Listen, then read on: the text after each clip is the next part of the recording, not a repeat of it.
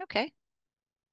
Hello, everyone. Welcome to the FPGA meetup on the 9th of April, 2024 for Open Research Institute. We talk about what we've done, what we have planned to do in the future, if we need any resources, and if we have any roadblocks. And we have a lot to report. The slides only show uh, a slice of it, but we're going to go through the slides first, and then we'll pick up on any other projects that need to be talked about or any other questions that we have. So welcome, everybody. Overview, the expected deliveries for uh, Opulent Voice, which is related to Haifuraiya, our transponder for um, for space and terrestrial. Uh, the the delivery for the the um, transmitter side, the uplink side, uh, for a sounding rocket test at Wallops with the University of Puerto Rico is scheduled for August of 2024. Also in August, we have expected delivery of a demonstration of Neptune, um, also in August 2024 at DEF CON. So Neptune is a five gigahertz uh, drone link, data link, and it's a OFDM. It's it's really cool, and there's lots going on with the specification, definition, and and also uh, prototyping. Uh, so these are two different projects with two different uh, modulations. Neptune is OFDM and uh, very LTE, Wi-Fi, 5G in in tone, and Opulent Voice is a uh, minimum shift keying. It was a four-ary FSK uh, deployment, but we've we've transitioned to a more efficient uh, minimum shift keying um, uh, modulation, and the the framing stays the same. Uh, so the the design that you've seen in the the document for that stays the same. Uh, and we have a as as mentioned, we have a sounding rocket opportunity to test it with the University of Puerto Rico in August. So we're working hard towards that. We're about midway through our three week sprint or set of sprints for that. So the progress that we're going to talk about today, recent progress, with the Pluto SDR opulent voice transmitter and the general purpose processor opulent voice for University of Puerto Rico transceiver uh, with some efforts to get it independent of GNU radio so that we have a, a modem or a MO um, because it's just the modulation side uh, that's working with um, off the shelf hardware that's easy to set up. So, so far, from my point of view, the biggest risk is the lack of documentation for all of these things that we're trying to do. And, and just a reminder that we need to do a much better job. We need to leave the place better than we found it when it comes to documentation and explaining it for the people that come after us or are working with us. So yes, welcome, welcome to the meetup. So let's talk first about the progress on the general purpose processor opulent voice for uh, University of Puerto Rico work. Um, and I'll I'll let Paul speak to the slides. Okay. Um, the first thing we had to do was get back to where we were last time we tried to do anything together with the University of Puerto Rico folks. And uh, that was a matter of reestablishing the prototype which transmits with GNU radio and receives with the C++ implementation of OPV DMOD. Uh, they had been told at some point in the development process, and by us, by me basically, that the March 9th release was the, the one that was known to work. And I mean, not really release, it was just a check-in. Um, so they've been using that, and they've been having trouble getting this same demo to work. Uh, working on intermittently over the last nearly a year, and um, lots of other disasters going and befalling them in the lab, and difficulties with rockets and floods and probably plagues of locusts for all I know. Um, so that's still a, uh, a milestone that yet to be reached. We've got it working here in the lab again uh, without too much trouble, and uh, they're still trying. I think what's left is they probably don't have the frequencies uh, calibrated. The the code is at that level of development is not very uh, robust to frequency error. So if you don't get the frequencies tuned right in, then they won't work very well or won't work at all, depending on how far off they are. Uh, from there, I want to jump to the current version of the C++ code that's checked in. That's from about May of last year. And uh, it has some big advancements. It increase includes the protocol stack overhead, which changes the symbol rate. And there are a bunch of little details of making it work well that had been revisited and improved. So if we can get up to that level, then we'll have a better implementation of the, the four-ary FSK to work with. The biggest limitation of the of that as it stood in in May is that it still didn't have uh, a live transmitter.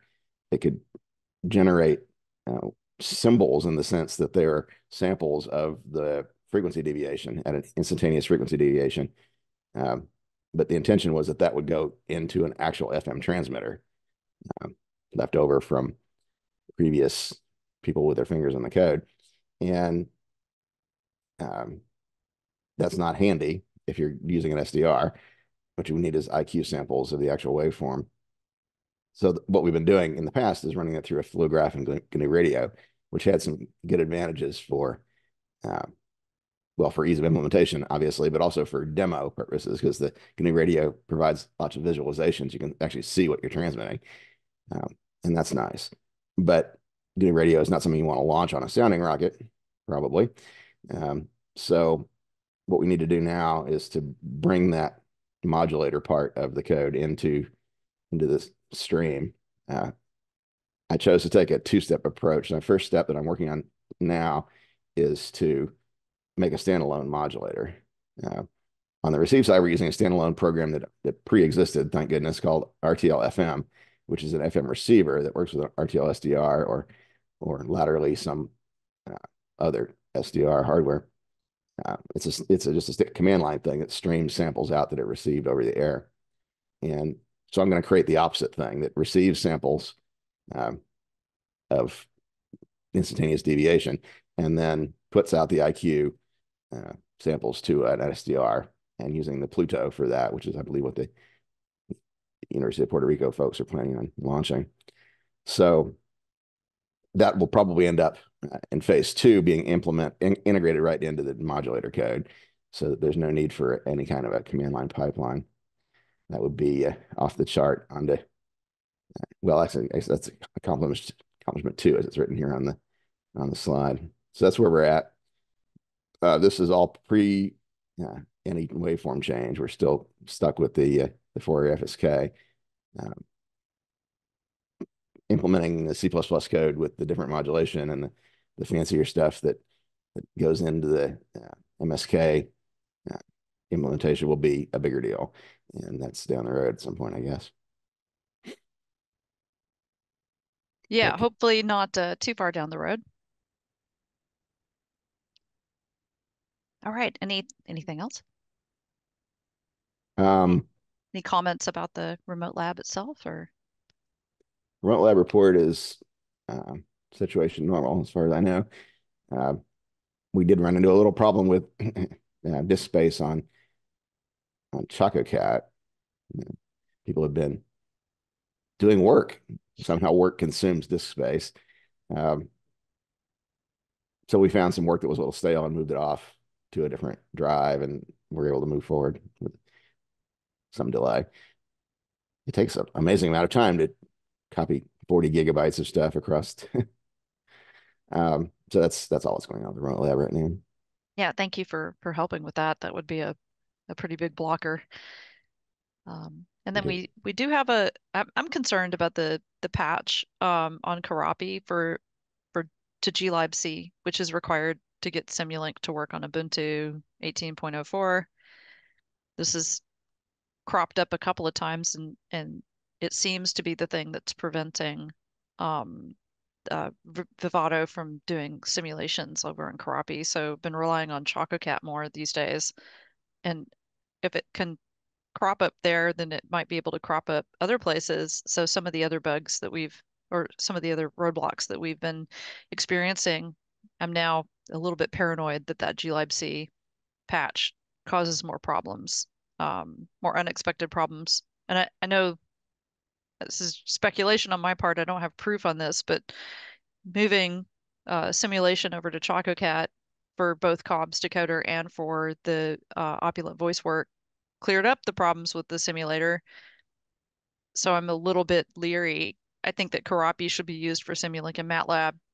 It it can be used for compiling uh, the the raw HDL reference designs, but like doing any sort of serious work over there, which is unfortunate because that's where the the ZCU 102 and the ADRV 9002 are attached. Um, but doing any sort of serious work over there until this is kind of cleared up needs to be like the stuff needs to be done over on ChocoCat, and then the the end result, the the work product needs to be uh, exported over to the uh, trivial FTP boot directory, and and then we boot from JTAG over there with the work work product.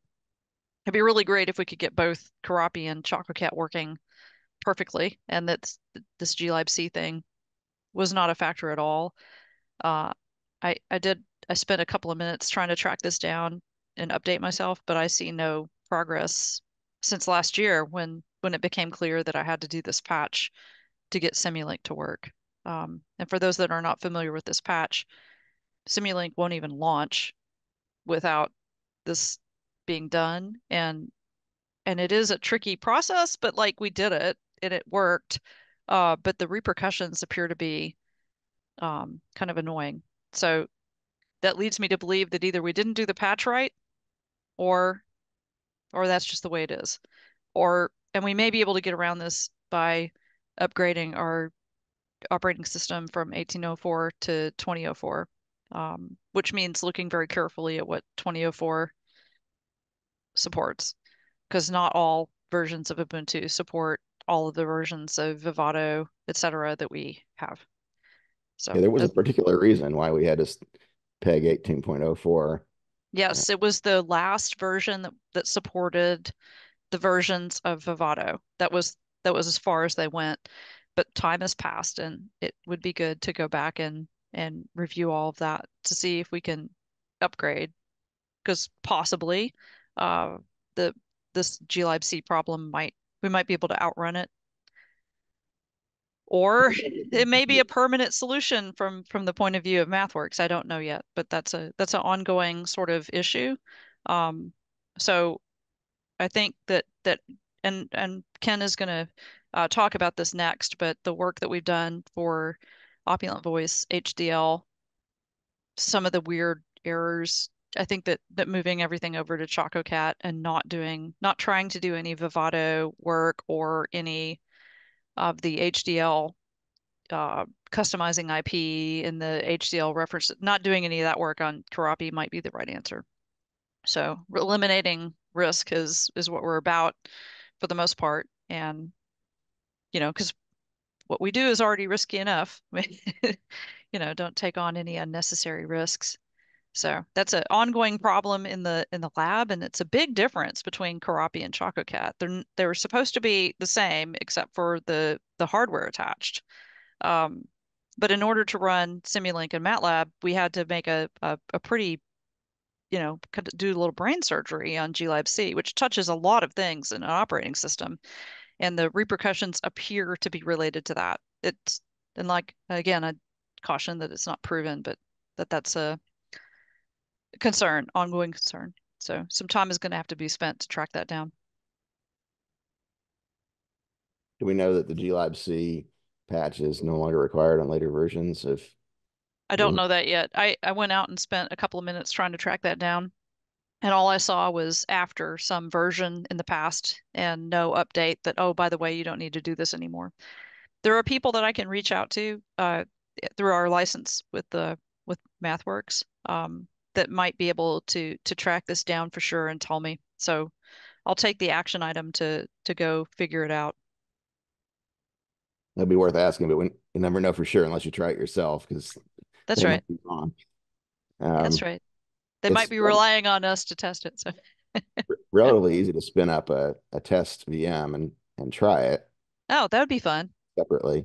Yeah, uh, let's have to run it on the array because it wouldn't have a another SSD hanging around to dedicate to it. But well, yeah, as long we might be able to find find a space for it.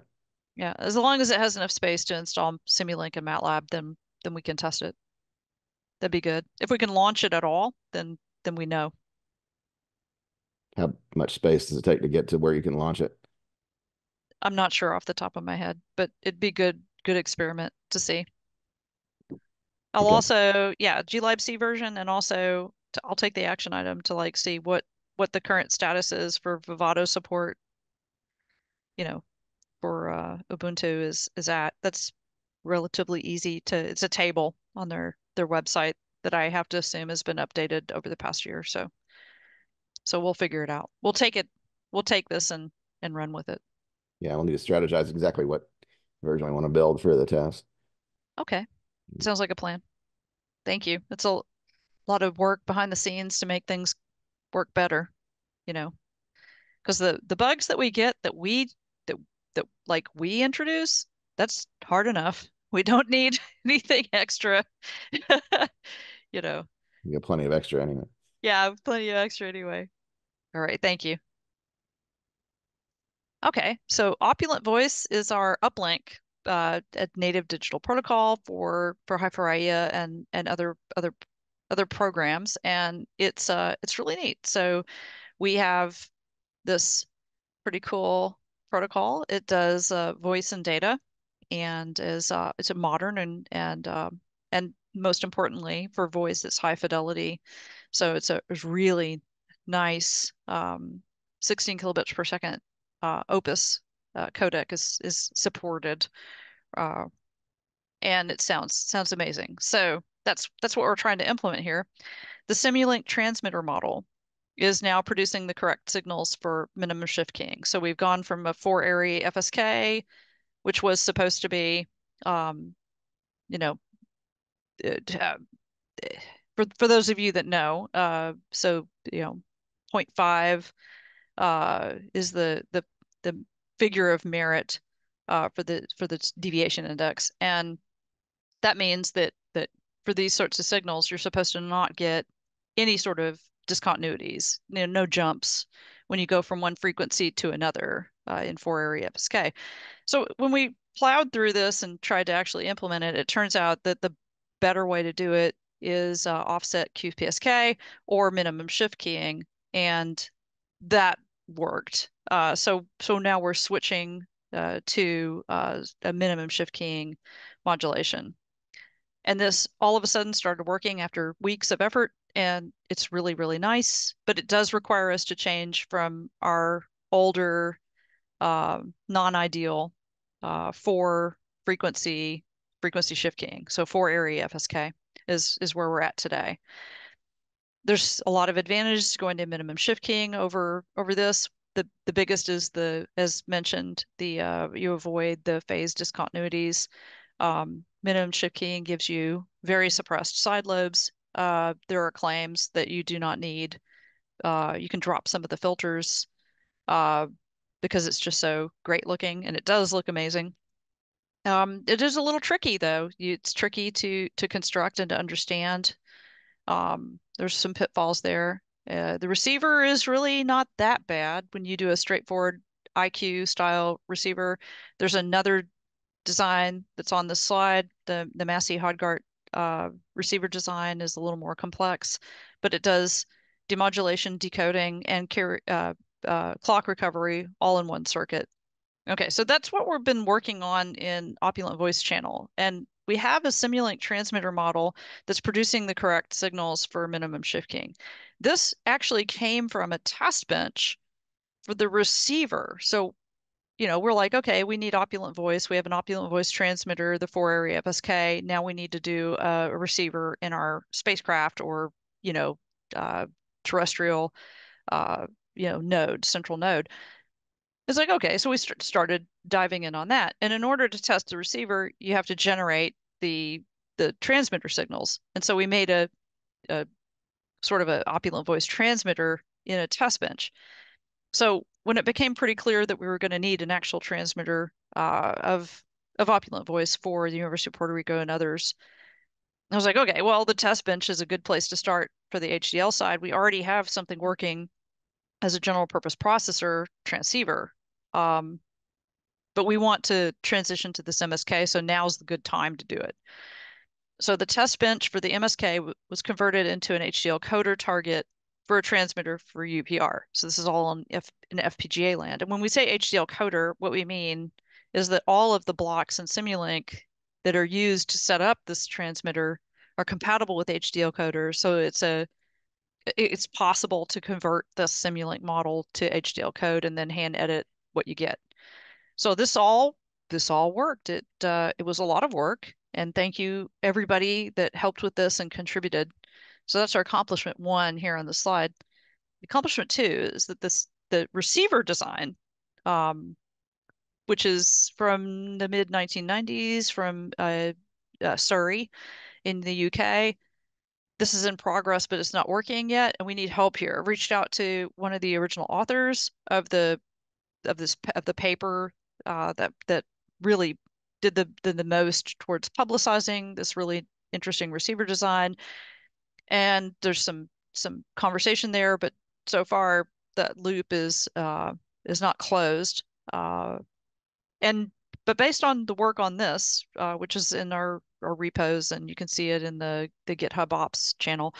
Um, based on this work, it's now clear that the the more traditional, you know, IQ, multiply, digital down converter, receiver design that we worked on first, that that was just missing the timing and clock recovery. Well, it can now be completed because the clock recovery circuit from the Massey Hodgart design actually makes sense and appears to work. So that's on the to-do list is that we can get a this other parallel path working uh, from from the R&D that we did with the new receiver design, more complicated design or integrated design. Okay, so that's that's what's going on there. So the attention areas this week are on the Pluto SDR. So uh, for the for University of Puerto Rico, I'm like, okay, let's just take a Pluto. They have Plutos there. And take the HDL reference design from the Pluto, modify it with our code, with our HDL that we're working on, and get that as a transmitter from the sounding rocket down to the Earth. Okay, so that's that's the attention area. That's what we're trying to get to plenty to do, but making progress. But modifying this HDL reference design has actually been, um, I think, and hard uh, because the documentation from analog devices that we really need, their their full page, this this alleged like here you go, here's a, a complete handbook of how you do it, it, has been 404 since um, early 2023. There's nothing in the Internet Archive that page is also a 404 since it's the only time it's been checked in. I have gotten nothing from the customer support so far from and also nothing from Engineer Zone.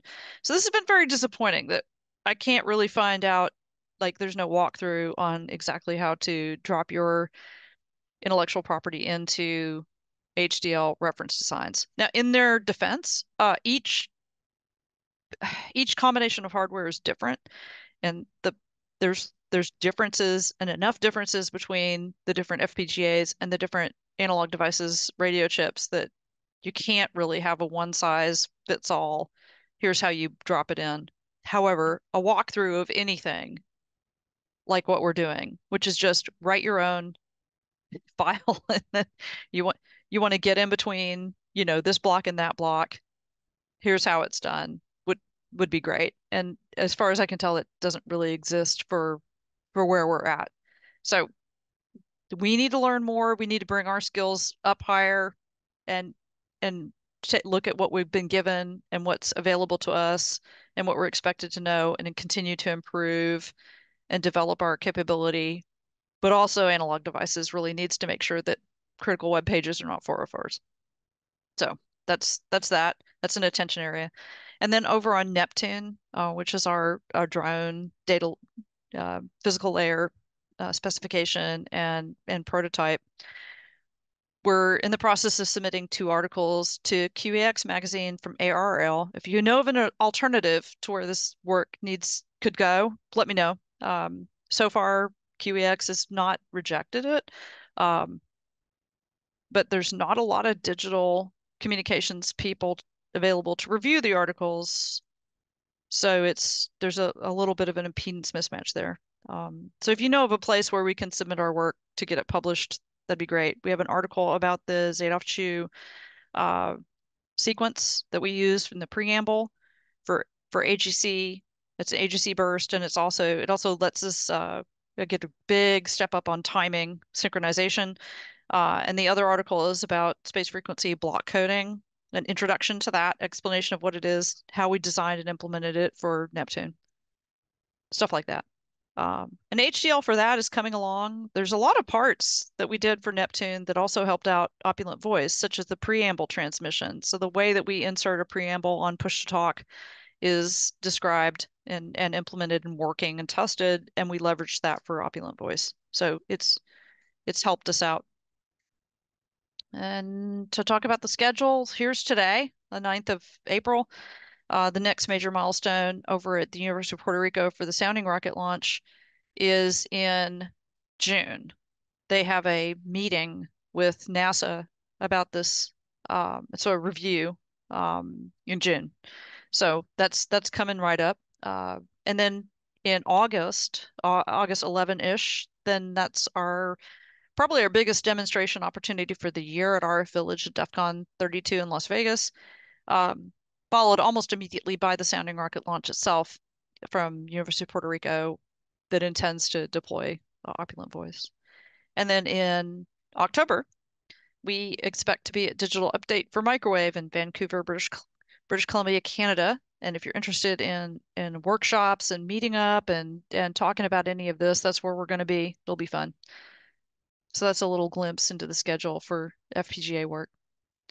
And then next steps, publish a method of integrating RIP into the HDL reference design that avoids the errors that we've encountered for COBS decoder, for the polyphase filter bank, and for Opulent Voice, and also uh, for the DVB-S2 encoder, which actually was integrated with a, a different way um, than just making it look like an analog devices block. So we have, have four major pieces of of uh, intellectual property that we've tried to integrate into reference designs, and all of them have been somewhat difficult and and resulted in lots of errors. So we we really need to kind of like normalize this and and explain it and provide uh, a guide uh, and specific examples. Um, and so the markdown document for integrating our IP is going to be the the focus of that work.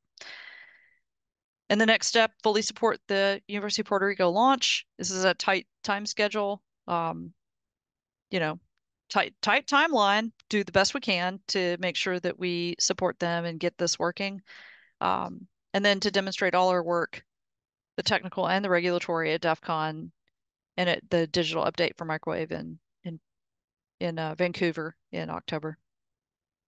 So the goals for next meeting are like the goals for this one. What have we done? what do we plan to do, the roadblocks, and what resources are needed. Um, and so I'll turn it over to to Ken to bring us up to date on all of the things he's he's done and and everything he's done to help with uh, Opulent Voice. Yeah, I'm not sure when I last gave an update, but the uh, polyphase filter, we got that finally uh, stitched in there, and it seems like it's passing timing now so that was that was good to get that kind of set up at least uh, in an initial sense. Um, since then, I've followed some recipes to generate a bit file and get that into a uh, Linux build. Um, I think that's we've got the files copied over for that, so I think it's at least built there. Uh, still need to kind of do an end-to-end sim at some point, but uh, that's where that stands anyway. And then lately I've been helping Michelle with the uh, trying to get an equivalent block installed uh, for the Pluto database, uh, trying to follow the same recipes uh, that finally we we in order to finally get through some of the roadblocks, we tried to make the blocks look very much like what the other blocks in the analog devices uh, tree uh, in terms of how they're built and uh, what macros they're using and basically presenting the same interfaces as as what what the uh, ADI blocks uh, themselves present. Um, So that worked on the polyphase filter. We're still fighting it uh, with the uh, trying to get to the uh, the latest uh, o OPV for. I see. It's a transmitter block. That's about all I know about the actual details of the block. But I, I guess even that is we're we're just we have like a, a wrapper placeholder for that. Um, but uh, kind of trying to follow the same steps. Uh, it's not quite the exact same interface because I I didn't have a streaming AXI at the point I did the insert for the uh, polyphase filter. We had to actually adapt it. Internally, the polyphase filter has the uh, streaming AXI, but we adapted it to a FIFO. Here, it's uh, still uses AXI at the at the top level, but then it's like what what those stitches have to occur and what um, stitching routines you use for that. That's still something we're trying to iron out. But I think uh, yeah, by close comparison between what worked and what we've got on deck here, uh, we should be able to get through the, the issues that we're seeing, I think. Just it does take some time to try and make sure that it fits. Some of these error warnings that we get are somewhat cryptic. So that's about it. Thank you. That uh, that's a great summary, and thank you very much for all of your hard work on on ironing out the timing problems with the polyphase filter bank. Um, so yeah, the the efforts to build up a, a PetaLinux build that includes that as the um, uh, bit file for the for the target.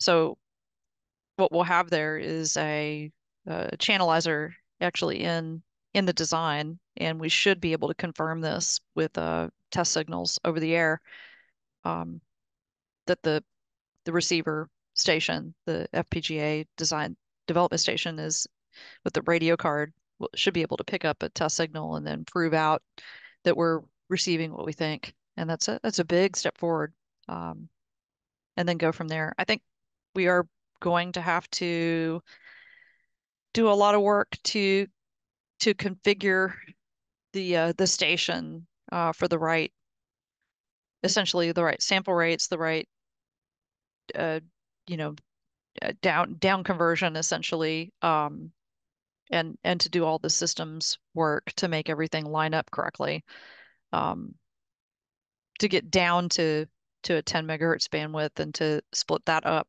is is actually a a hard job for for the big radio chip. Uh, so we may have to to adjust that and to to cut in more samples or or to to start out with a wider bandwidth uh, in order to comply with the needs of the hardware. But that's not a not a big deal. Should be able to do that. So testing this out over the air makes me super happy. That's uh that's a real proof of concept when it actually works over the air. So I'm I'm looking forward to trying it and seeing seeing what we got. All right. Any other comments, questions, or uh, goals? Anything we missed? Any resources needed?